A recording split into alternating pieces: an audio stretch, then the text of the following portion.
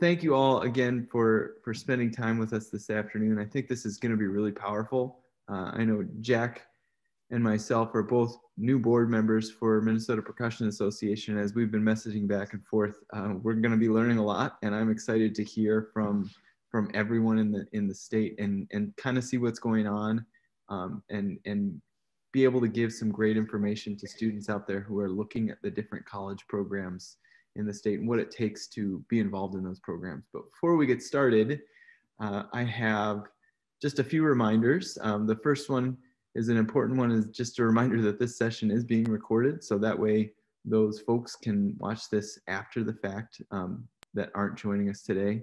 Um, we'd like to thank our 2021 MPA sponsors. We've got silver sponsors, marimbarental.com, Growth Music, the St. Cloud State University Department of Music, and Creative Costuming and Designs. The bronze sponsors, Shirtworks and Promotionals, Schmidt Music, and the Minnesota State University Maverick Machine. Um, and and that's that's all we've got for quick announcements and sponsors. Thank you to all of those for helping to make this this season possible virtually in a pandemic as crazy as it's been. We were just talking before we uh, pressed record on this. It's just been wild. Um, and I don't know how you guys all feel right now, but for me, having it be basically a year from our, our last event, it just it hit me yesterday and today it's been ex- exactly 365 days since my last hockey pep band events, which has just been crazy. So to get us started, I thought what we could do is just quickly go around and introduce ourselves, say maybe what school we're from, and maybe just give a short background on where you came from, what your what your story is. So I'll start. Um, my name is Michael Thursby, and I am currently teaching at Minnesota State University in Mankato. Uh, I'm from Iowa originally. I did my undergraduate degree at the University of Iowa with Dan Moore and my master's degree at the University of Northern Iowa, studying with Randy Hogancamp and uh, kind of a cast full of folks because Randy took a sabbatical my second year in my master's degree. So I had three or four different people that I was working with there. I started out in teaching as a band director uh, in Grand Rapids, Minnesota. I taught there for three years, and then this position opened up to start a marching band in Mankato. And it just so happened they were also looking for somebody to do percussion, so it worked out for me. It's kind of a dream gig for me, um, and I love it down here. It's it's a lot of fun. Jack, why don't you go next since you are the other board member on here? Um, my name is Jack Donovan. Um, this is my first semester teaching at, uh, or my first year rather, teaching at uh, Winona State University. Um, and then I just started teaching lessons at St. Mary's um, as well down in Winona. So it's been a it's been a good um, it's been a good first year for me. I mean, with all being said, you know, in the current situation, um, I've learned a lot so far, and I'm excited to keep learning. And this is going to be a great opportunity for me to learn from all you. Um, I got my undergrad at the University of Wisconsin Eau Claire, where I studied with Jeff Crowell, and then I got my master's down at Kansas State University, where I studied with Kurt Gartner. Uh, while I was there, I was the drumline coordinator and arranger and all that. Um, so I got a lot of teaching experience doing that. Uh, and then I am working on my doctorates, working to finish up my doctorate with Fernando at the U of M. Uh, I think I'm a, two recitals and a paper away. So yeah, I'm I'm trying to keep the ball rolling, but you know, COVID's making it quite difficult for me. So um, yeah, that's that's about that's about it. So I'm excited. Great, Fernando. Why don't you go? Okay. Um, my name is Fernando Meza, and I teach at the University of Minnesota Twin Cities campus. Um, I am originally from Costa Rica, but I have been here since well for a long time. I first came to uh, to study, spent a year in Pittsburgh at Carnegie Mellon, then did my undergraduate degree at Baylor University in Texas, and my master's at the University of Michigan. After that, I went back home for three seasons um, with the National Symphony of Costa Rica and started the program at the University of Costa Rica there. Uh, then after that, came back to the states. Uh, got married. My wife is from Ohio, so we moved to Ohio. And um, as things might have it, you know, the position at Ohio State opened up that year, and um, I got that that position after Jeff Moore retired. And then from Ohio State, um, uh, came here in 1993 to the to the U of M and it hardly seems believable, but it's been that long. But uh, yeah, it's been 20, 20, 28 years now, and um, yeah, that's basically the the background for me. Awesome, Terry.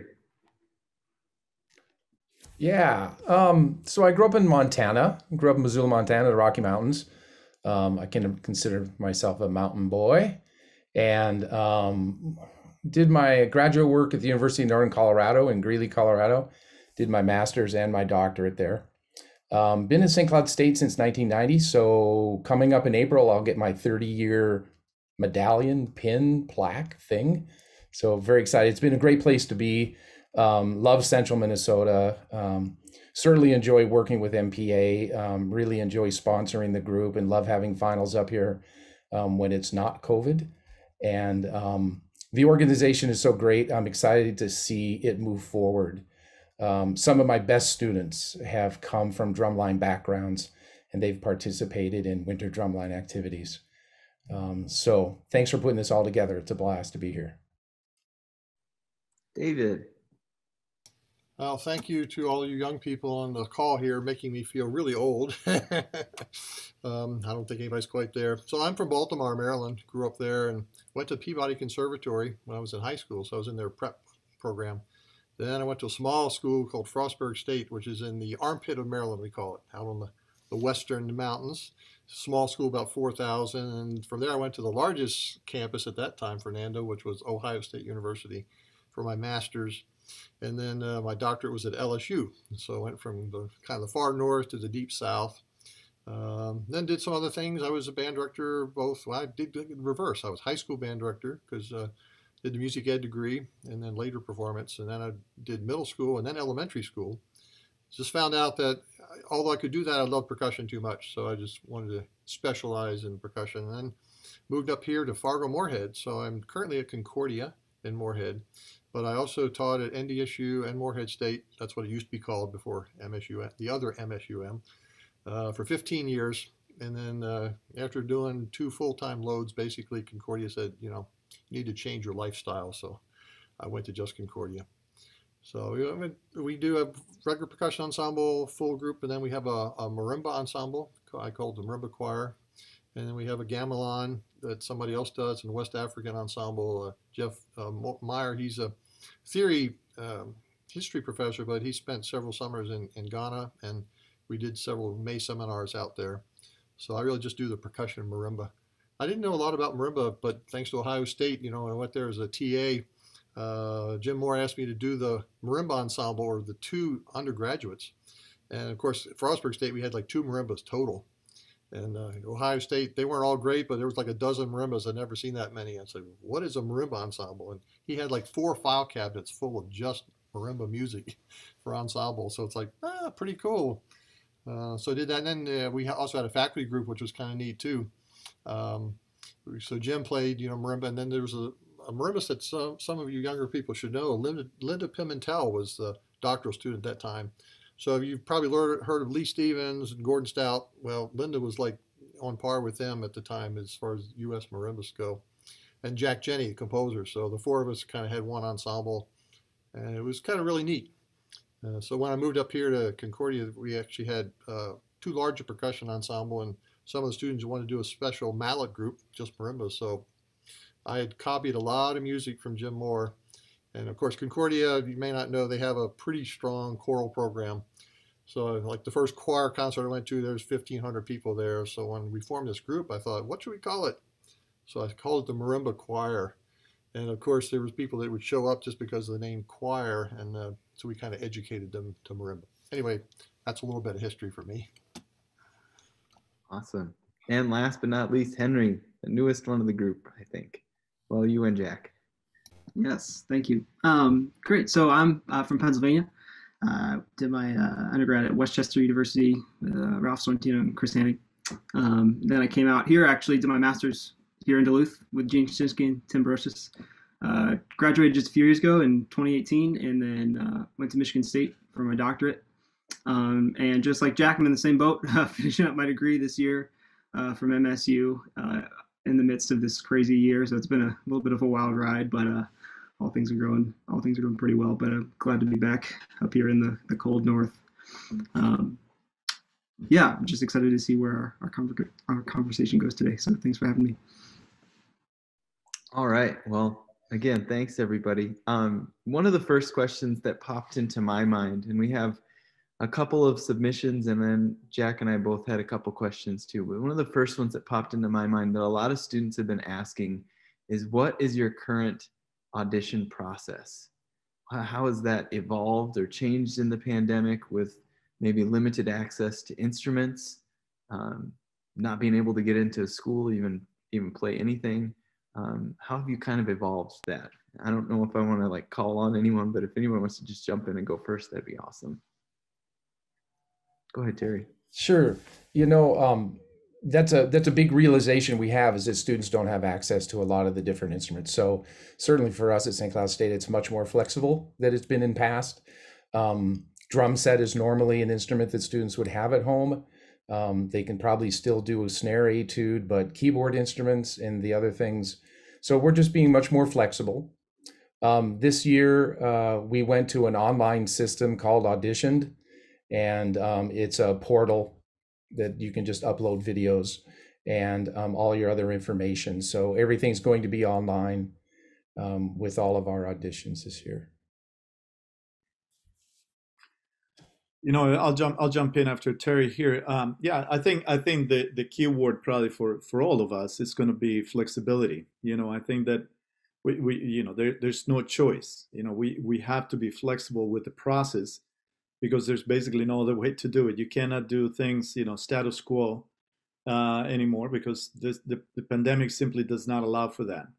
So for, for us at the U, the same the same is true. We, we have done and, and our auditions are done for this year, you know, but um, it was it was entirely an online process. Um, and the the suggestion, you know, that that we gave those interested in auditioning um, revolve primarily around the, the lack of access to timpani, which is what we found to be the most difficult instrument for students to have access to. Most most everybody was able to have access, like Terry said, you know, to a snare drum because they either have a snare drum at home or have access to a snare drum somehow. And most of them would have a way to kind of sneak into their high school or or, or somewhere to get access to a xylophone or a marimba or a set of vibes. But timpani, timpani proved to be more of an issue, and some some students, of course, own their own mallet instruments too. But timpani certainly proved to be a, an issue, and and so my my kind of work around that was um, for students to do a little bit of singing of some intervals. I provided a, a sheet of of some intervals for them to sing. And when it came to demonstrating some of the technical elements of timpani, it didn't really matter to me whether they played on a couple drums, any any kind of drums, or even I told them, you know, if you if you don't even have access to two drums, then then go over and you know put some two cardboards on top of pillars or something, and just show me what you do technically, how your basic approach to playing timpani would be if those cardboards had sound or could produce sound, um, and then just sing through these various intervals. You know, get an A at the beginning. You don't get another reference pitch. Just here's an A. Sing from there the various intervals. And that's it and so that constituted our, our timpani component of the audition. Uh, all the auditions that we received included um, a snare drum and a mallet performance on actual instruments, but several of the auditions um, re- referred to the you know suggestions of playing timpani on whatever medium. Some kids decided to play on two drums, or you know there was you know there was one student who played actually on two pillows, which was perfectly fine. You know I could see whether or not they had the you know the ability technically or the understanding technically through that um, and and that was kind of the workaround for the time being Fernando, that's kind of interesting because uh, I'm thinking back. We actually finished our auditions uh, in January, and they had to submit their tapes online. And then we had another weekend, two weekends in February, where we did interviews uh, with the students. So we've completed for the scholarship, the music scholarship. And we're still having students come to campus so they could actually audition in person, just have to be masked and uh, keep our physical distancing. But you know, several people did timpani. I think it's, we're right on the border here. Uh, North Dakota people have been more apt to go to school. They've been able to record a lot of things at their school. Minnesota students have had more of an issue, but I had more Minnesota students that actually had keyboards at home. So they might not be great, but two had xylophones. I think one had rented a marimba and one had a vibraphone. But the timpani part, I, one young lady actually did a timpani uh, three drum etude on the, her drum set. So they had put the floor tom and two mounted toms and mounted on in a timpani fashion so I could see, you know, the pitches weren't correct, but it was interesting that, you know, she was really creative doing this timpani and wanted to play this, this solo. Uh, and then a couple have done uh, like complementary percussion. There was a tambourine solo. And uh, you know, I have this little piece that one of my high school students did It's for a triangle tambourine and castanets, which kind of, you know, showed that. But it, it really probably the difficult part is timpani and the keyboard, having a good keyboard. A lot of them were used to playing on a, at least a four and a half or five octave marimba. And just, you know, they said that they had played before the pandemic, but couldn't get into school to record something. But you could tell a lot from the, the interview process. And some people had taped something that they had done earlier uh, when they were in school. But it was, it was quite an interesting process. David, can I ask, is that interview process something traditionally that you guys have done for auditions, or is that new with the pandemic? Well, they do it normally in person. So, you know, they would submit their tapes and we would either watch or listen, and then we would invite the finalists to campus. So they would do the interview on campus. But we actually made more time because when they come, they do their 15 minutes and they would play an etude or two. They're supposed to do two or three areas in percussion, you know, keyboard, snare, timpani or multiple percussion.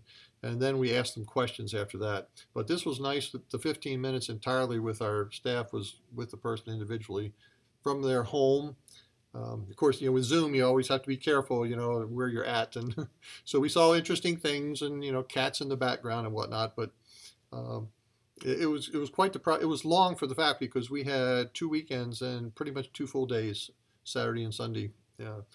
Uh, it's like all the brass percussion did theirs, all woodwinds did theirs, and so we had about five or six faculty on each call. Jack or Henry, do you have anything to add? Anything maybe different that that you guys are doing, or pretty much the same? Um, I, th- I, I think I, flexibility I think was key. I mean, I I was kind of in the interesting circumstance where it was like, here's what you know my predecessor Rich had for all his auditions. What do you want to change? I was like, I don't really want to change anything. That's great, you know. like, so then it's just kind of communicating with the students one on one about what do they have access to, what do they not have access to, um, and I think like obviously we've learned in this situation, communication is going to make everything somewhat easier.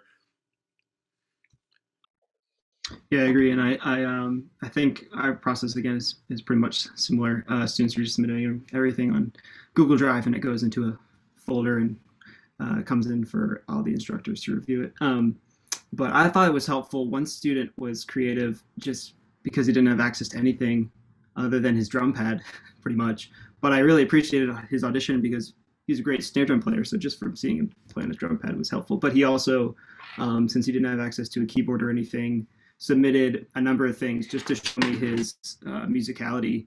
Um, there's an excerpt from a Winter Drumline show, so I could see that he played marimba um, pretty well. But also he included um, Scott Joplin piano rag, which is like, oh, okay, you you can play piano. That's very helpful to know. uh, and he's re- really talented pianist too, so I know that at least translate. Um, it's not ideal, you know, it's not playing a xylophone rag, but uh, it was definitely helpful to see uh, his musical side. He also submitted um, just a, a, couple other things that were just helpful in that respect of seeing his his musicality. So for me, that was really helpful to see, um, and I thought that was a, a well prepared audition uh, given what he had available to. Very cool, Jack. Why don't you roll with your your question that you had? Yeah, I was going to ask what what are you doing in your studio to make it a normal experience, or at least a productive experience in your in your lessons, which we kind of spoke about earlier. Um, but how are you how are you handling lessons, studio class, percussion ensemble differently um, to get the most out of it with the current situation? Maybe I'll take that one first. If, um, you know, it's it's it's been interesting, Jack, and and and, and certainly it's it's opened up some doors that that you know we perhaps would not have explored under under normal circumstances. Um, you know, in in years past, of course, you know we we are we have all experienced you know the the situation where we bring a guest in you know to to share in a performance and master classes and so on and you know that involves of course planning and money and hotels and travel and blah blah blah blah uh, so you know you have one two three guests a year and you know and then life goes on and so on. Um, this this year opened at least at least for us here and for me you know it, it really opened up a possibility of bringing a lot of people in um, via you know via zoom. Um, so you know since the pandemic hit in in in you know march of last year um, as soon as as soon as we found out here at the U that that classes were indeed going to go all online, um, then I got you know I got on the email and I sent an email to a whole ton of colleagues around the world to see if they would be willing to you know to come in and spend you know an hour and a half with us during a studio class. Um, and since we were going to be completely online, that that was the studio class time and the both percussion ensemble times, which you know were were kind of poofed, you know, in the in the air and so i figured you know we just fill that that space with with guests. And so i had you know three guests per week for the entire time from you know march through you know may or whatever it was last semester and or last year. And then um, this past semester uh, we had a, again a bunch of people but not doing percussion ensemble time because we went back to, to in person. So just the studio class but we had a guest you know, and I'm and, and, and we're talking about people really truly from all over the world. And so that was very special for for my students to be able to connect with all these people, you know, superstars that, you know, heroes of everybody, you know, Theodore Milkov, Katarzyna Myćka, you know, Eric Sammut, and so on and so forth. Um, and and people from different areas, you know, drummers in Broadway and and you know, music, the, the, the music director of the University of Panama, Carlos Camacho, who is um, you know, a, a, percussionist, former graduate of the um, Cincinnati Conservatory of Music, and now he's the music director of the university there. So administrators and anyway, so just just to show the students the, the different possibilities within the field of percussion, and so that was that was really unique in, in something I certainly would not have done, and you know, unless we were in, in, the, in the under the circumstances that we've been in. Um, but that that was certainly something that that was unique and that offered some some um, you know different perspectives for my students. Um, as far as the day to day, yeah, we were talking about that earlier. You know, just uh, we've been doing percussion ensemble now in person for two semesters, and and lessons we're doing online one week and um, in person one week. Uh, percussion literature and studio class are all completely online for us. So that's just you know a little a little bit of the situation for us, at least here in, in the in the Twin Cities. I think some things have actually been easier to teach online. I, I hate to say that because it's very difficult, but like the literature class, I did that in the in the fall uh, because there's so many things to access. I mean, I have on my iTunes, you know, about 80 gigs, and I could pull up this tune and that and, and show videos real fast. That normally in the class I would have a lot more you know, time to get that stuff ready. Uh, you know, we're pretty much in person now, you know, for everything since January. And uh, we actually were in person in the fall until Thanksgiving. So when we sent people home at Thanksgiving, they stayed there for the rest of the, the semester. So we did three weeks of online education. But our performances were recorded before then. It's been kind of difficult because of the, you know, the distancing. I tend to do a lot of larger ensemble pieces. Um, you know, a lot of variety, but um, you know, I, I, share marimbas, so you know, I have 25 people, you know, I don't have 25 marimbas, uh, so I double up, and you know, uh, so it's been the distance thing. But I've gone to a lot of smaller ensembles, so I'll do still a couple larger works. But you know, we did like the Chavez Toccata that I wouldn't normally do. We've done a lot of quartets, and you know, the the Becker Away Without Leave, and things where students could be somewhat distanced, but to smaller ensembles where you know you're trying to keep 20 people occupied throughout a couple hour rehearsal. Um, so it's been interesting, but I think what happened last spring, it was just when we were forced into the situation of, okay, everybody's going home, you're leaving campus. And I scattered for like two and a half days just to you know, grab as many tambourines as we had and triangles and in music I copied and said, okay, go by the band room and pick up this stack and pick up this instrument and write down what you have. And so we did lessons online you know, with practice pads or snares that they had, and everybody did a tambourine solo and triangle excerpts, and we were doing things that they weren't normally. They would have done, you know, timpani or marimba if they were here, but we just kind of scattered. Uh, but it was kind of uh, a learning process for all of us. You know, we actually, you know, MMEA just had their clinic, and I'd submitted a tape from last year's performance, so we did a little 30 minute. You know, I was able to put eight tunes in there of different on, ensembles and uh, everything from uh, quartets up to I think I had 20 in the fall. But I think for those couple weeks in the spring a year ago, we were just trying to figure out all this mess and how to make it work. And I think the students did real well, but it, it was different for all of us. I don't want to step on Terry's touchdown call, but for us in Mankato, it's been a lot of recording and editing and learning that process for our students and myself. Honestly, some of the video projects that we've put together, I have learned so much technology that a year ago I wouldn't even have thought of. And it's it's been a blessing because we didn't really document so much of what we were doing. So we didn't have videos of the percussion ensemble. We didn't have as many videos of, of students performing solos. They would videotape them and then they would go off into a distance and we'd never see them again. So having that to look back on now from this year, uh, having something for the students to take away from this year uh, that's a physical thing, um, and learning how to do the recording process, learning how to mic uh, a marimba or a vibraphone, learning how to mic drums and what different mics you can use for different instruments, and then how to go in and edit that and how how that process works. And we learned the hard way. We tried a, a piece last spring where it was all clapping, and we learned the hard way that that's way difficult to do and get it to line up virtually.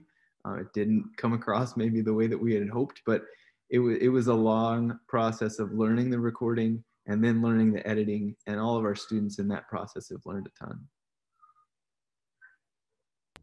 Yeah. Um, it was it was several years ago actually when I started thinking, you know, some of the best musicians I know uh, have a lot of experience recording, studio musicians. Um, and the thing about that process of recording yourself, it closes that learning loop. You know, you, you get to practice and then you get to evaluate what you did because you listen to your recording and then you do it over again and you make continuous improvement with a nice closed learning loop. So when the pandemic hit, um, our practice rooms were already set up with with uh, Macintosh computers, audio interfaces, microphones. They've got um, either Reason or Logic or GarageBand, and the students had already been making recordings. Um, so when the contemporary music ensemble, St. Cloud State, of course, is in central Minnesota, and um, central Minnesota was quite a hotbed for a while um, for COVID. And so we made the decision back a year ago in March that we were going to be totally online and we were going to wait to see what happens this spring before we return to some face to face instruction. So my students were already well adept at recording themselves and so with the contemporary music ensemble, um, I'm making basically click tracks for the for the students, and um, they take that click track and they play their part. They send me their part. I assemble it, so they're getting a lot of experience, um, you know, playing along with tracks, um, and for us, that's been working really, really well. So they're either making a video or they're making an audio recording. We're just practicing remote recording. Um, we do part checks in Zoom. I listen to them play their parts. They play along with the metronome, um, and we discuss style and articulation and and um, all the different aspects as if we were face to face. All the lessons have been online. Uh, it's been working very well. Um, like David, is, when you spoke about there, you can share a file immediate. You you can share a link, an audio file, a document. Um, you can share your screen and check out the score and look at measure nine. Check out this note here. Um, there's there's quite a bit that can be done in Zoom very very successfully. Um, there was a bit of a learning curve, like you talked about, Michael, about students had to know that they needed to get microphones that were good and they needed to learn how to do their Zoom settings. Um, but once we got past all of that, uh, I think the silver lining is kind of where I'm at, at right now with my students um, and the ensembles I'm working with. Just learning a different skill set that perhaps we wouldn't have been forced into before. you know, if I could, if I could add just one more thing, you know, and, and sorry, Henry, I, I, I may have cut into into into your time here, but um, I just I just want to bring the students, kind of the students' perspective a little bit into this because usually, you know, I mean, I'm I'm thinking of, you know, what am I doing? What do I do to to to to teach better for my students and so on. But this has also offered um, all of us an opportunity for the students to kind of take charge of some of their own projects and present and share with their peers. So that's also been a really nice um, outcome from all of this. You know, for example, during our studio class, which our studio class is a one time a week, you know, an hour and a half or so, an hour 15 minutes. Um, we get together and we talk about anything, you know, contemporary music notation, you know, wrapping mallet, you know, making triangle clips, doing this, whatever, whatever it might be. But the students were actually very interested in, out of from their own uh, initiative that that they should be presenting more and um, of course there's performances also during that time and so on uh, but they actually you know some of our music education students and i have a couple of music therapy students also um, they they wanted to present on on certain themes that were inter- of interest to them and you know so now they presented their powerpoint and shared it with all their peers in the studio and and that has also been a really positive thing i think for from all of this not not necessarily on the teaching side of things but on the student initiative side of things as well.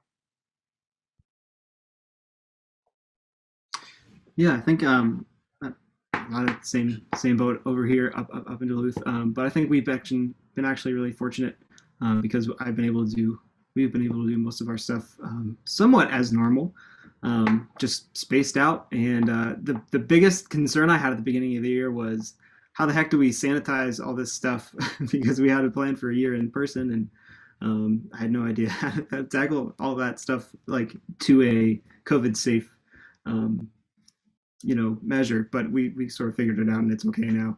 Um, so yeah, I think we've been really fortunate up here in Duluth uh, because we have been able to do most things uh, as normal. We've had our percussion ensemble and uh, studio class uh, every week in person. We don't have a, a, ton of students this year, so it hasn't been like um, it felt pretty safe.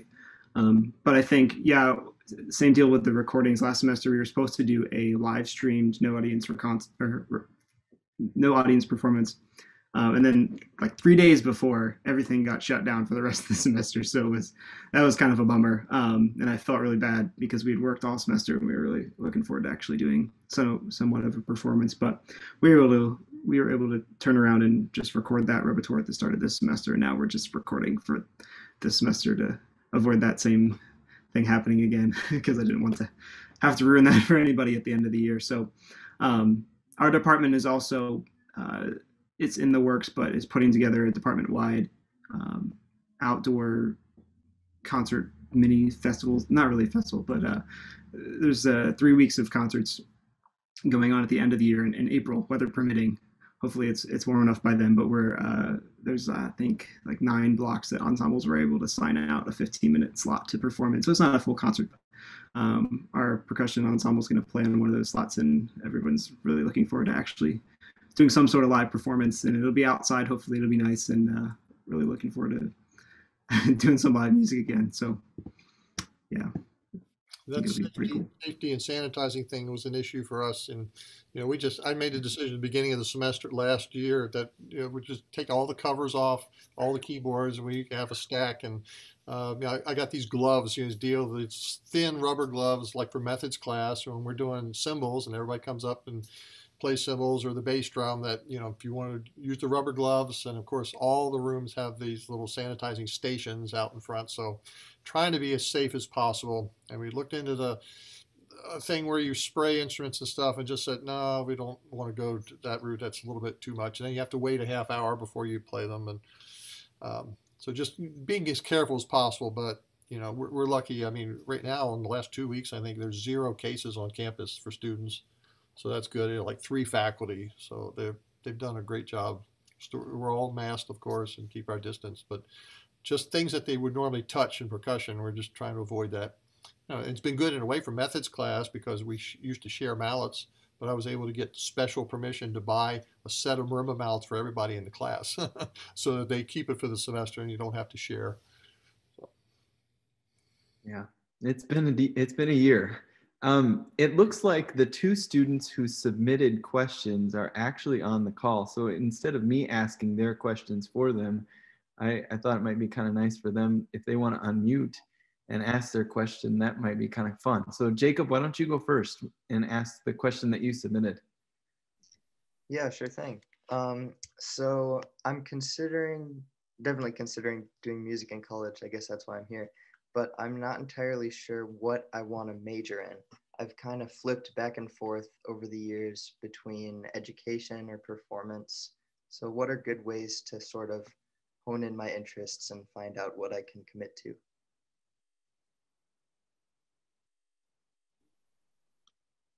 I'll go first. I, I don't know. It, in Mankato, you you don't have to commit to anything necessarily right away. Um, the programs that we have are set up initially, so there is a little bit of I don't want to call it freedom, but there's a little ability to move between different majors. In that, if you come in, you're taking basic theory and you're taking some music history and things like that right away, where it, it gives you a chance to kind of find your path a little bit and and we have several students who come in and they think they're going to be music education majors and they switch or they think they're going to be performance majors and they switch and that happens. It's i've been here for eight years and it's happened almost every year that something like that has has occurred. So you don't necessarily have to pick right away. And jacob i'll add add to that. Sorry. Uh, you know concordia you can uh, you sign up for any major, but I probably have 50% of my students that switch uh, every year. You know, they'll come in and you know say I'm going to do education, and after sitting through a class, and well, you know, maybe performance. We also have a composition major. So you know you don't have to declare right away. The difference is the the lessons for us. You know, if you're a performance major, it's an hour lesson a week. If you're music ed, it's a half hour. So if you would switch into performance, then you just have to add that extra half hour you know, somewhere along the line. But students switch all the time. You know, I started as an ed major, and I just found I liked performance. You know, later on, so by the time my junior year at Frostburg State, I could actually do both. So it was just another recital and another paper and a couple classes. But you know, knowing exactly what you're going to do for the rest of your life, hardly anybody can say this is going to be it. Um, Terry, uh, Terry, I don't know if you were going to say something, but um, one thing, one thing that I think is unique, maybe within the music field, is is there's the core the core classes that all of the majors have to take between music ed, music performance, composition, theory. You know, you all have everybody has to take these three or four theory classes, these three or four history classes, and stuff like that. So everybody for the first kind of couple years, and it probably varies from school to school. Um, everybody's kind of in the same little cohort regardless of major. So there, there is definitely some time to, to figure it out for sure. Yeah, same at St. Cloud State. Um, we we designed our fall semester. Um, you don't start theory, music theory, and musicianship until spring semester. So fall semester is largely uh, liberal education courses, private lessons, ensembles, and it gives you a chance to mix with that cohort that Jack was talking about and talk to them about uh, careers in music education. And so you you have time to figure it out. Yeah, I think I think you're gonna find that you know anywhere everywhere pretty much, Jacob. Um, you, you you have you have time. You know, once you arrive at a school, you don't have to you know put it in stone that you're gonna do this only. You know, there's there's time there there is time to figure it out. You know, um, you know, it, it, might very well be that you decide to double major in both music ed and performance instead of just doing one or the other, um, which is, you know, it has been um, a thing over here also at the University of Minnesota that, it, you know, I, I have students who are double double majoring even in fields that are not in music. You know, I have double majors who are pursuing, you know, computer science or, or you know, finance or you know, engineering or whatever it might be um, and, and some amazing musicians. You know, I have a kid right now who's a computer science major, who's just a fabulous, you know, marimbist, and um, you know, just just finished doing um, this arrangement of Rhapsody in Blue by Adelaide Ferrière, um, this French fabulous young marimbist, did a beautiful arrangement of, of Rhapsody in Blue. But this kid just finished working on that, and this is a you know 30 30 page composition, and and he's a computer scientist. You know, he's not even a music major, So uh, it is it is possible to do all of those things too, even if if it's not just within music, you know, but as a double as a double major too. Yeah, I'd like to add to that too. Um, similar things here. Um, I think a lot of schools probably have this as well, but I know one of the popular degrees here at UMD is the music BA, where um, you have the option to combine it with another major. Um, so same sort of deal. Uh, actually, most of my students right now are music BA students. So one of them uh, music and biology, another one's I think a chemistry minor. Um, so that's an option always. And like from personal experience, I came in um, when I was an undergraduate, came in thinking I was going to be a band director. I think like a lot of high school students.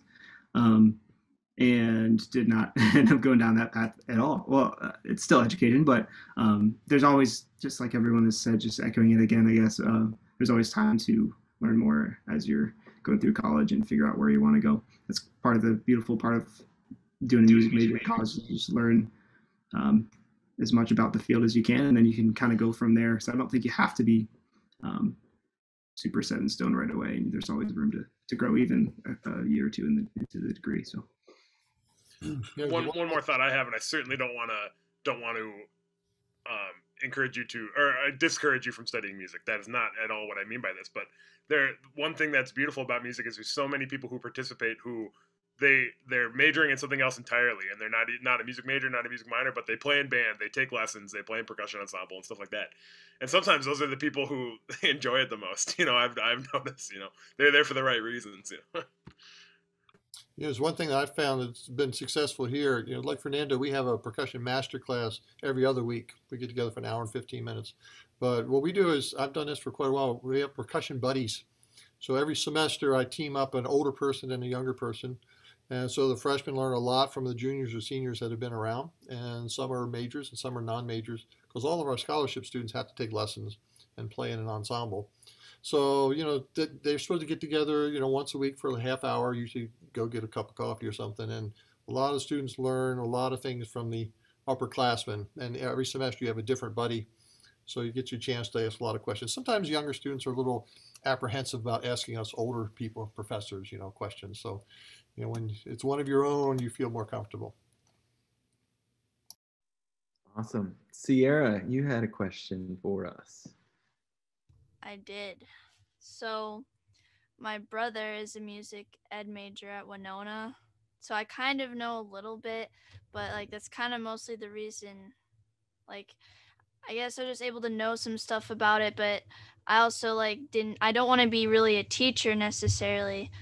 And I just kind of wanted to know like how I, I joined late, so maybe you talked about this already and I didn't hear it, but like, I guess I just kind of want to know like how the music composition major works and like how it differs from music education.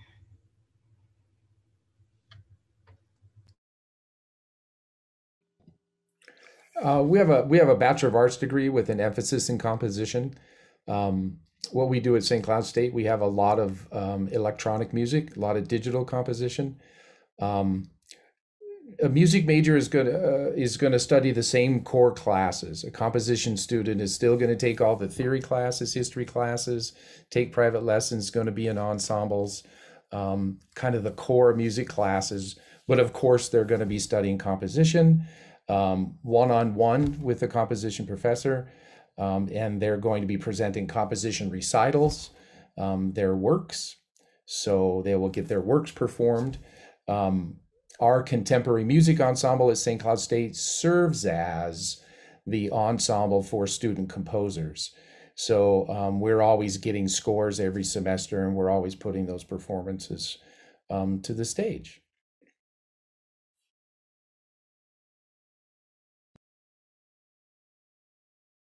I think the um, oh sorry for go ahead. No, uh, go ahead. Go ahead.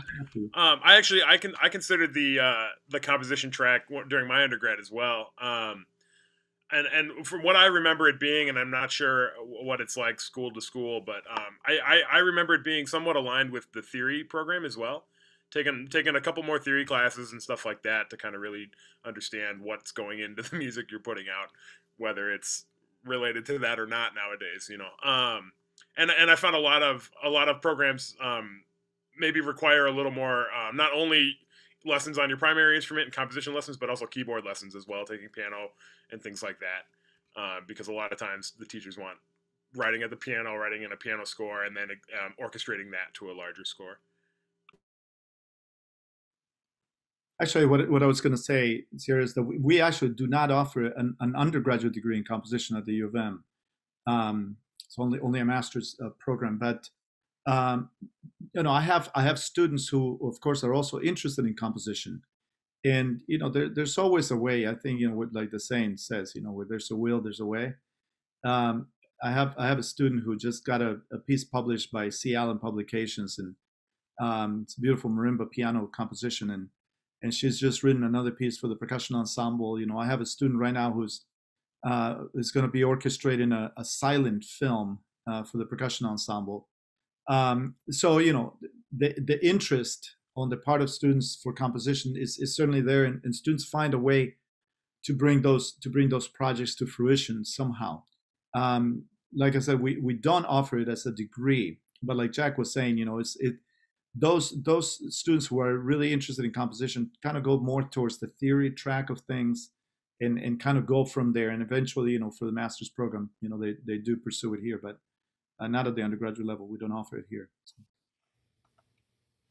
So eh, at Concordia, we do have a composition major for undergraduates, and you do an hour lesson a week. We have three actually faculty that are composition, but you know there's probably at least ten of us that also compose. So if it's a percussionist, uh, you know, I've done a fair amount of uh, compositions, and uh, you know they'll study with the composition faculty plus take lessons on their private instrument. But the rest of the classes, the theory and the history are the same. So whether you're ed or performance or composition, you're in the same classes. You just have that extra lesson.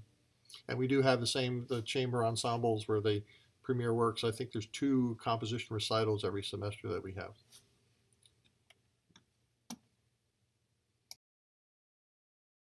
I think uh, one one other thing here, Sierra, that might inform you, you know, as far as different programs out there, is that one of the really fabulous things about about music and the music environment in college is that you are going to be surrounded by a lot of people that have your same interests, you know, and in, in peers that are all going to be, you know, chomping at the bit to get music created, music performed, or and and and, and you're going to find people around you that you can you know, put together, create an ensemble, experiment, try things out, write music for, perform, etc.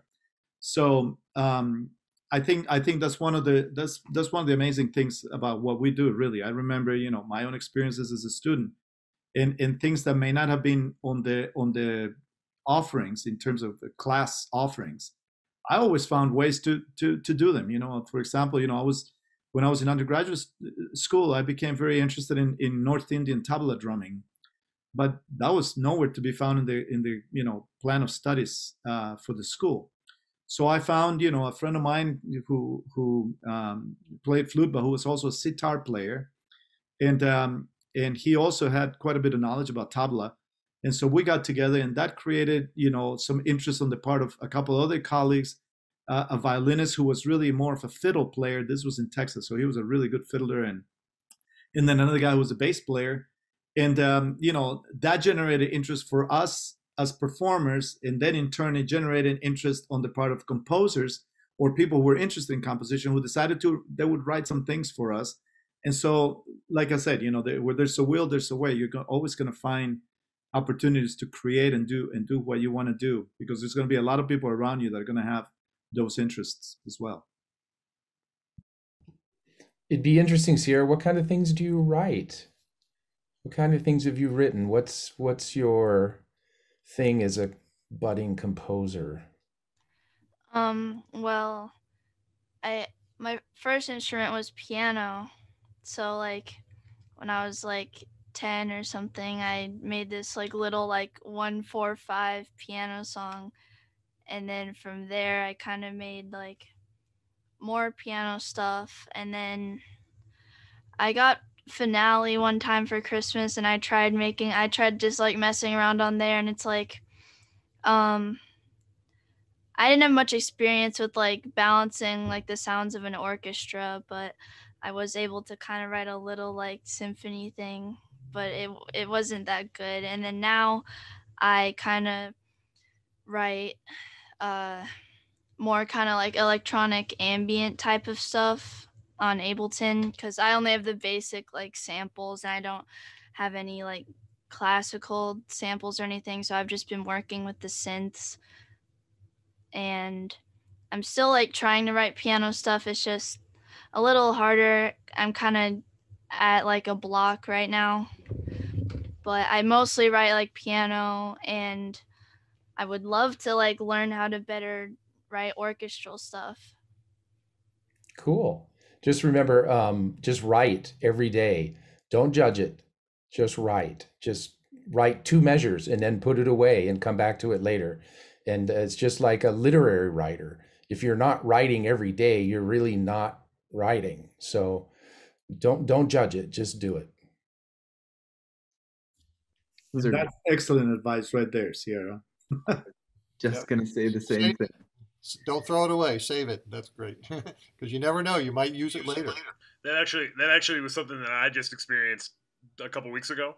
Um, I uh, uh, before that, a month or so before that, I was working on a movement for the Grove Area Percussion, the drumline, the winter drumline I work with, and I was like, I wasn't happy with it. I just I closed the program, didn't delete it, thank God, and then I came back to it two weeks later. I was like, oh, this isn't bad, and it ended up working, and now we're we're learning it on the floor right now. So that's that's that's it's proof in the pudding for sure. My first snare drum book, I started in high school, and I wrote a couple etudes, and then put it away, and I started in college, and my first publication, and I'm like a freshman, and like, wow, they want to publish my works, but it was like three years of of etudes that I put together. So you never know. These are are great questions too. So thank you, Jacob and Sierra. Um, Sam, I I want to give you a chance if you got a question to jump on if you if you want to. Can you hear me, mm-hmm. everybody? Okay, I've had issues with the microphone on this computer for some reason, but uh, hi, my name is Sam Peck. Um, I'm actually currently a college student at St. Thomas, uh, although it's for communications and journalism. And I also direct River City Rhythms indoor drumline. So I wanted to see what you guys had to say about the um, the online teaching and education and stuff because that's basically all resources we've been able to have this winter. We haven't really had the ability to meet in person anywhere um, because we're an independent organization. Um, so I'm just curious, like, what do you guys do to really maintain like a level of engagement and motivation with your students as you go through um, the online lessons and other things that you guys do that isn't in person. Um, yeah, I'm just curious what you guys have to say about that. Yeah, you know, one thing um, that that I read about and I've begun doing this spring semester is having students submit videos throughout the week while they're practicing. So one of the difficulties of an online situation is accountability and motivation. And so I, I say to my students, three days before your lesson, I need to have a short video of you playing this excerpt from this piece. And then the day before your lesson, I need another video. So while they're practicing, they just let their camera roll, whatever their phone camera, and they send me a video. Um, and that helps keep engaged um, when they're not around you all the time. I think one of the hardest things for me has been that sense of community that we experience in ensembles in person when we're when we're together. Um, you know, I, I think to the pep band in Mankato, for example, because working with that group, a lot of what we do is being at events, is being at a hockey game and, and experiencing that atmosphere. And that's where those bonds are formed between students. So it, it's been kind of a challenge over Zoom to have you know, for my incoming percussion majors who normally we would have a potluck and we would get together and we would do those things. We we try we've tried to get creative over Zoom and do different get to know you type activities and and do that as much as possible. And then when the weather's nice enough, you know, Henry, you probably have dealt with your fair share of snow already this year, but when the weather's nice enough, doing things outside in a park, um, you know, our, our drummers last Thursday, we had our, our final drumline rehearsal before break, and I said to them, Would you rather drum outside or be in subsections? and most of them said they would rather drum outside. Even though it was still a little bit chilly they wanted to drum outside because they could all be together.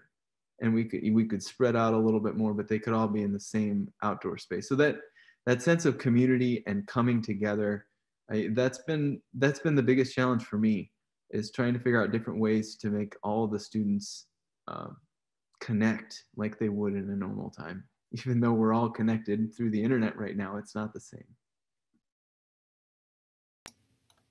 I think I feel probably more blessed than a lot of people I hear because we have been able to be in person, uh, you know, somewhat different. But you know, last spring was just so. Here it is, you know, like a year ago, and it, we're done. Uh, and we tried, you know, last March and April to do some online playing together, even if it was practice pads and tambourines, and it just doesn't work over Zoom. And um, so we you know, wound up, you know, everybody muting except one person. We'd all play and listen to, to one. It's just, and I, and I remember in the fall, you know, we got together back in, in September because last spring we were two weeks away from our performance, as you know, most of us probably were. We had our big day of percussion uh, planned, and it was you know going to be April 1st, and we had Gordon Stout and uh, Adam Mason and people you know coming in. So we had been apart you know, for several months, and all of a sudden, uh, I figured, well, after our brief talk and get everybody together, we had about 22. Let's pull out every marimba keyboard we had. So we just got together and did uh, have an arrangement of Evelyn Glennie's Little Prayer. So we just kind of started this keyboard. you know, we had people kind of crying because we hadn't been together in you know five, six months playing. And wow, we're all together as a community, as, as you mentioned. It was just you know terrific to actually play. I don't know how many PAS members there are, but I was really impressed uh, this year's convention. The Cavaliers did a online presentation, and it was just super. I know it was a lot of work, but how they actually did that and just the editing that went into that performance, I, I watched it several times because it was just amazing for that hour plus of putting that video together. So I think again, technology is we can learn better how to do those things. It's nothing like being in person and having that sense of community, but it was great to see what they did. I was very impressed. You know, um, Sam, one of the one of the things that, that we did here, you know, and, and certainly, you know, I mean, I think we all are, are keenly aware, you know, that the sense of community, as, as Michael was, was talking about, and, and everybody, is is the one thing that we have all been affected by in a in a really difficult way because music, of course, is all about communication, you know, and we communicate through it we exchange you know ourselves through it and, and it's obviously a very very special way of, of establishing connections amongst people. And and to all of a sudden have that kind of yanked away from us it has it has certainly affected all of us you know both of us uh, as teachers as as as much as the students um, you know one one of the projects that we did and this is just a little example of of you know how we have all had tried had had to have had to find ways to to be creative about about having some kind of connection. Um, we we did a project, um, you know, uh, several months ago that it was a it was actually an international project. You know, being being originally from Costa Rica, I have a lot of friends over there. The the the two percussion professors at the University of Costa Rica are, happen to be former students of mine, and we're very very good friends. And um, we decided we would do a, a, joint collaboration online. And at that time, you know, I, it was kind of on the, on the onset of, of, of, of the pandemic. And, you know, some students had some instruments, some students, most students didn't have access to them and so on and so forth. So I thought that maybe a way to do this would be to just create an improvisation with whatever it was that we might have at home. You know, so I suggested let's go in the kitchen and find things, you know, and all of us do it a project with kitchen utensils. So that was the the the birth of the idea. That evolved, and then the students got very excited about the the possibility. And one of my students decided she would write a composition for everybody to anchor um, onto, you know, to to grab onto, so that everybody could play along the same lines of a piece of music. So she had a click track. She wrote the the tune, and she sent everybody the music, and uh, and people played with whatever it was that they had. The idea would be was that we would do it mostly with with homemade utensils, but people had you know marimbas at home. Some of them, some had a guitar, some had you know whatever it was, and uh, we ended up doing this this project. It was actually a very cool thing. Um, so you know this this has opened up opened up doors that we don't normally walk through but as as creative individuals that all of us are somehow we're going to find ways to you know to create a new path out there. So i would say you know anything anything that you anything that you can think of that is kind of outside the box because we are all thinking outside the box right now you know to make to make this time work. Uh, but anything that you are thinking of that you might be able to implement with some of your peers or students um, you know give it a shot. It might turn out to be a really really cool cool project for you guys. Sam i don't know if you're looking for um, like practical activities to do in zoom in the online environment. Um, i don't know what kind of things you might already be doing with the group but um, i've put in the chat window a number of documents. Um, you know, we find it really fun to just get together and work together. And I know Zoom, you can only hear one person at a time, but you can take turns who's going to lead certain exercises. So um, we've been working the four mallet floor party in an online environment. Everybody sits down and, and takes turns. I'm going to lead this one. I'm going to lead that one. They unmute, you know. Um, same thing with the 40 rudiments in four minutes, 33 seconds, along with the click track. Um, you know so just getting together in an online environment padding out for a while chopping out for a while um, is a great way to create community which is what michael was talking about and fernando's talking about. Um, and you just have to accept the fact that you really can't do a lot with zoom you know? What kind of things are you doing sam? What kind of things is the group trying to make happen? Oh well coming into this year we were obviously hoping to get into the competitive circuit a little bit, but being unable to congregate and record videos for the competitions is not possible for us at this time. So we've really decided to focus on the education. And what we've done is created a 16 week season where they are offered a lesson every other week. And that kind of gets rolled into their very small amount of dues. And they get those lessons one on one throughout the year. And then every Friday night, we meet as an ensemble. We'll have two different Zoom chats, one for the front line, so like the keyboards and such, and then one for the battery, so like snares, bass drums, and that. And what we've been doing is working on a couple of etudes. Like for the battery, we, we arranged a tune from uh, a drum set player named Benny Greb called Tricky. Um, and so we wrote battery parts to that, and they're playing with the track so that they have that music to play along to. So like we do the same thing where like they have to be muted when they play, but we'll have like either a time source, like a metronome playing through uh, whatever instructor's speakers, or they'll be playing it themselves and they can play along with that on their own. Um, and then the front line, they're playing a, a cover of a Jacob Collier piece, but the name of it is escaping me right now. Um, and then we're also doing another full project. Uh, RCR has a winter guard and a winter horn line or winds program as well. And so the three ensembles are all working on one piece together. So like we're we're offering unique tunes and um and like pieces of music, etudes for them to work on. Again, it's just the trick of not meeting in person ever because we can't do that.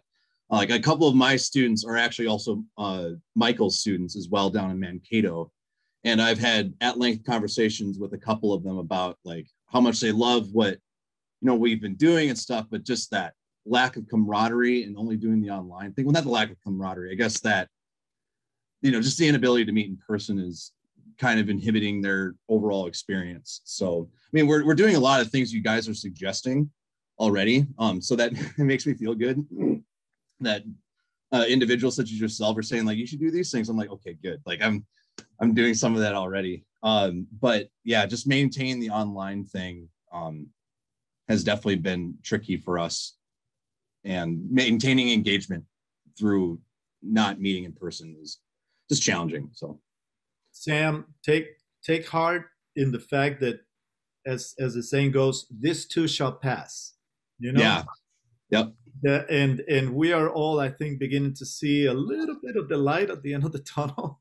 You know, I think you know the we have been under this this cloud, you know, for so long, and and now whenever there's a light shining no matter how small that light might be you know we are all giddy about it because it's like hey things are going to change somehow and I think I, at, least that's how I feel. That's how my students feel. You know, I, I don't know about you guys, but I definitely feel, you know, much more giddy than I've felt in many months because it's there is light at the end of the tunnel somehow, you know, and so you know we we all need to take heart in that, you know, and and uh, when that time comes, of course, when we can all get back in the rehearsal space and actually play, you know, after Stuba, you know, with three people one marimba, you know, uh, whatever it's gonna be we're all, we're all going to be jumping on the marimba with joy, you know. But but this too shall pass, and I think we're we're we're we're coming into that space where where things are, are beginning to, to to get better. So you know, I'm certainly uh, expecting that you know in in in I don't know six months, eight months, a year's time, um, life will be very will look very different, and and we'll be all all the happier for it too. So hopefully by next season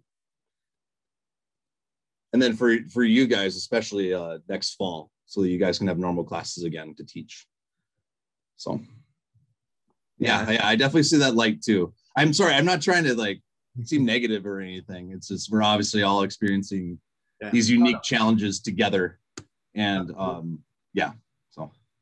Yeah, I, I love the light at the end of the tunnel thing. Yeah. Um, and part of any situation, of course, uh, when when it's a, a tragedy, is acceptance one of the steps is that helps me a lot is I just accept the fact that nothing's going to be perfect and, and nothing's going to be the way we want it. So let's just make the best of what we can do. Absolutely. Yeah. So I, without having this be too long, because I, you know, if if students want to go back and watch this, making sure that they sit and they watch the entire conversation of being longer than an hour is a lot of time. But I I do want to uh, kind of wrap this up just just a little bit. And the, the last question that I had, and it's not really a question um, or a sales pitch. This isn't a recruiting video specifically for our different programs. But one of the things that I remember from when I was teaching in Grand Rapids, even before I started in Mankato, was in, in looking at the different college programs in our region. One of the things that I love is that we all offer a lot but we also have things that are very different about each of our programs. And i love that because it gives students a ton of variety that they can they can look at the different programs and they can make a really cool choice of where they'd like to go. And and i thought this would be a good opportunity in kind of wrapping this up for maybe for each of us to share just a couple of things about our program. So as if students are watching this and they're coming back they can look at this video and they could say okay well this is what is happening in Mankato, and this is what's happening at Winona. This is what's happening in all the different places, and and a lot of it might overlap, and that's okay because the programs overlap, and that's why it's nice to have the differences in the programs. But I thought that might be kind of a nice way for us to wrap this up. So, does anybody want to go first on that last bit?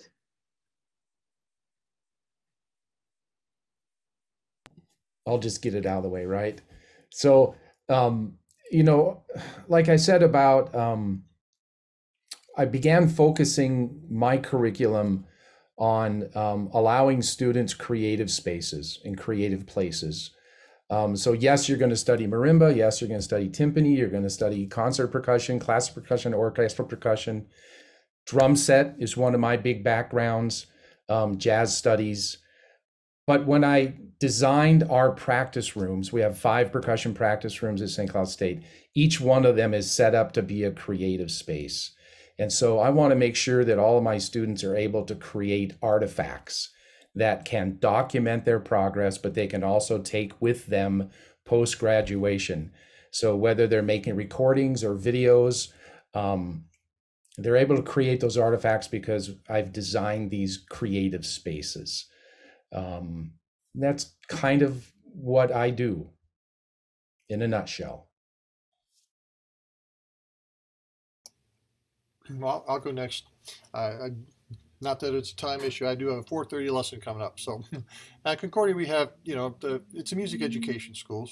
Basically, the majority of our majors are music ed. You know, a fair amount of performance and a few composition. But we have three concert bands, and there's an athletic band that plays at the games when you're able to do that. And we have two orchestras, three jazz ensembles, and I tried to get as many opportunities in percussion. So earlier I mentioned, you know, we have our regular percussion ensemble, which everybody that's a major and scholarship students are part of. And it ranges somewhere between 18 and 25, 26 people. And then this year we're doing smaller ensembles. We have the separate mallet ensemble, they call the marimba choir. And the gamelan was something that we added about 10 years ago. Just happened to be great uh, opportunity for us to get that. Somebody else uh, runs that as our West African group. It's really almost too many opportunities for students, but they're not in all those ensembles at once. Most of the students are in one of the major uh, performing ensembles, the band or orchestra, and then percussion ensemble. And the jazz people that are good drum set players, they'll do jazz, and the ones that will do mallets will do marimba choir. Uh, and I do have, you know, it's an undergraduate school, so you're here hopefully for four years. You know, we have a guarantee, you know, four-year program as long as you pass your courses that uh, you will graduate in four years. Uh, so I have eight semesters lined out that, you know, we usually do two instruments a semester. You know, it's like we'll do marimba and snare, and then we'll do vibraphone. And, um, you know, timpani is pretty much timpani a semester. We'll do uh, xylophone, both ragtime and orchestral excerpts. And we'll do multiple percussion, which is always an interesting area and getting ready for senior recital. So it's kind of laid out there that you, you do several instruments. And I changed that over the years when I uh, went and was a TA at various schools. I know Jim Moore at Ohio State, you did one instrument a, a quarter so that it's not overloaded. Because when I was undergrad, you know, one week was snare drum, the next week maybe timpani, and then, oh, let's do mallets this week. Well, we haven't done, you know, xylophone for whatever. So it was almost too much, and I didn't know what I should be practicing for the next week. So that's when I limited, you know, what I do per semester. Uh, I'll hop in next. Uh, Winona is kind of a it's it's a small town and it's a small um, it's a small program as well. So there's plenty. Well, with that said, I still think there's a lot of opportunity within the program and and even within the community there's a lot of great venues for if you're playing in uh, if you have a band you want to go gig at the at the brewery or at whatever venue there's there seems to be a lot of a lot of that going on and i think that's a great opportunity for a lot of um, a lot of students at the undergrad level. You know for well for for us uh, at, at the at the u here uh, in minneapolis it's you know i mean obviously minneapolis is a fairly large city and there's a lot of activity, you know, in the in the Twin Cities. Um, so there's there's no shortage of, you know, of activities that the students can be engaged with. I mean, certainly not during this COVID time, but during regular times, you know, outside of the school. But within the within the school, uh, the U is obviously a you know a, a, comprehensive school of music. So you know, there's there's the offerings of you know of, of really high quality band program, you know, high quality orchestra program um, you know, and the, and of course all the activities within the percussion studio. Um, it's you know, like David was saying, you know, there's there's it's almost like too many things for for people to to engage in. You know, steel band ensemble and you know, uh, you know, different different um, ensembles that I may not necessarily be. Uh, I mean, they're somewhat part of the university, but not somewhat like our, our gamelan ensemble is kind of connected with the U through Joko Sutrisno, but not quite. And so there's a lot of community people, but also university students. Um, you know, Sowah Mensah, who comes to to teach the African music ensemble. You know, um, Sowah, of course, has a huge program at Macalester College, uh, which is you know over in St. Paul, and and, and, and it's a gigantic program over there. It's not as big as the, at the U here because it's here only one semester a year.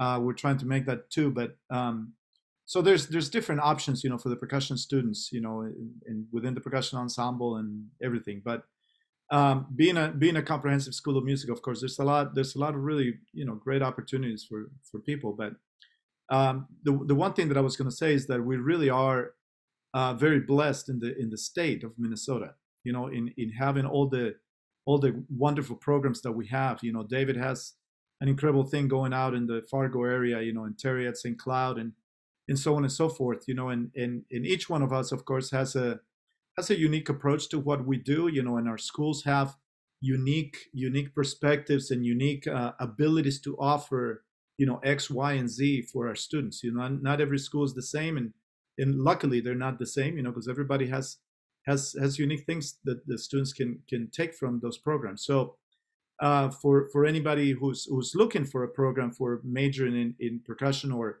or participate in, in percussion, perhaps not even as a major, you know, they can look at this program or this program or this program, and they're going to find that that one of them is gonna is gonna suit their needs. So um, that's that's really a, a, beautiful thing about about percussion in our state that there's a lot of opportunities and there's a lot of schools you know? We have a lot of really really great programs in our in our in our schools in our colleges you know? And i mean there's a lot of you know small colleges like macalester college for example. You know if you wanted to participate in an african music ensemble you know macalester college is a fabulous thing you know and they have a great program. So if that's your thing you know perhaps that's where you want to go you know?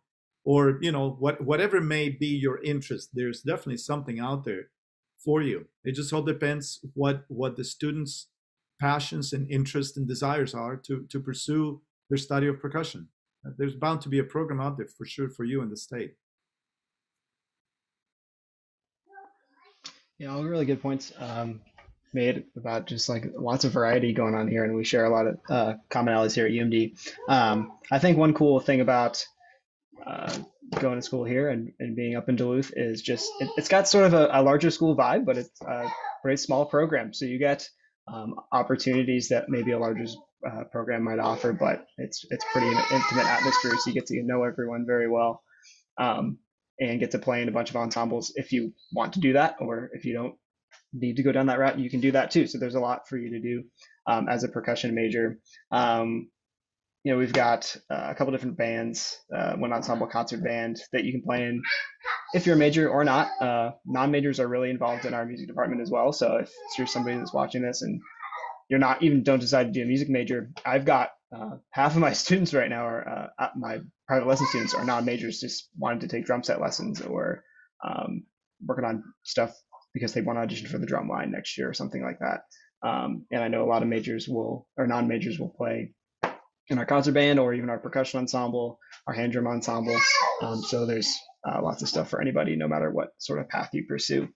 Um, so I think that's one of the cool parts about the program here. So it's it's pretty active across the board, no matter what you're doing. Yeah, I just want to echo what Fernando said one more time, and I just I love how much there is in Minnesota. There's so much that we have to offer between all of us on this call, and there are so many more that aren't on this call who could be on this call very easily. That we we just have a lot, and it's it's incredible. Um, in Mankato, one of the things that I I really enjoy about our program, and it's unique, is that our largest major is actually music industry. It's not music education, it's not performance, it's music industry, and it's the recording side of thing, which I've learned a lot from my colleagues this past year and and how to to do that. Um, but we have a lot of students who come in and you know drum set players who can't read music, and they they just play drum set and they want to get a music major and they start that way and it starts with the music industry major. Um, and the other thing for me that that I just love doing is drumline, and I know it it goes back to my high school days and then marching drum corps and doing what I've done in drum corps and being involved now with MPA as a board member. Drumline's a big part of who I am and who our program is, and and that's that's kind of cool, and I like that. Um, I think one of the other things that you'll find in in trying to find that right college place is looking at who you potentially would study with. Um, I, I think that all of us would say that you have a pretty cl- close relationship with those students who come in. And as a student looking at a college, getting to know who you might be studying with is a good idea too because all of us are going to be a little bit different and and that's what's awesome you know we all have our own different personalities and each of the programs have their own quirks and that's that's a great great thing. Um, i know that communication is is huge and if you have questions feel free to reach out to any of the faculty members who are on this call or, or anyone who isn't on this call. Um, most of the faculty members will get back to you and, and they'll be able to answer questions. And you know again with zoom you can set up a zoom meeting now and and you don't have to travel to wherever that school is and it just makes life so easy. So that's that's all i had. Um, I, I think this is a great way to, to wrap things up. And, and again, I, I appreciate um, my colleagues for joining us today. And those of you that asked questions, they were wonderful questions. So thank you so much, everybody. Again, enjoy the weather. Tomorrow's supposed to be almost 70 degrees down here in Mankato. So it's going to be, it's going to be awesome. That's great. Thank you, Michael and Jack and everybody else for organizing this. And certainly it's nice to see all my good friends and colleagues out there. David, Terry, Jack, it's nice seeing you too. And, uh, you know, after a while of not seeing you at school here. Uh, I miss it. I really do. yeah. Thank you all for putting it together. I say one more, one last comment. The young people in Minnesota, you're so blessed these days because when I came here, it was like a century ago. Actually, it was last century. You know, 35 years ago, there was two full-time percussion teachers in the state of mm. Minnesota. That's it, two. and now look at this, and there's more people that aren't on this call uh, teaching, and uh, the opportunities that you have are just great. But that connection, why I went to the schools in the far south and the Midwest, was because of the teacher. One I never thought I'd go to, and all of a sudden I met this teacher, and it was like, wow, this is mm. the place I want to be. So and and I, I wanted to echo all of that. I just wanted to say my personal thanks uh, to Vlad and Sam for the teaching you're doing um, with all those young musicians, and uh, you're doing great work. MPA is just such a solid organization, and we're really fortunate to have it here in Minnesota. So thanks for everything you're doing. Yeah, you too. All right. Well, thanks everybody. Have a great rest of your afternoon, and and thanks for joining us today.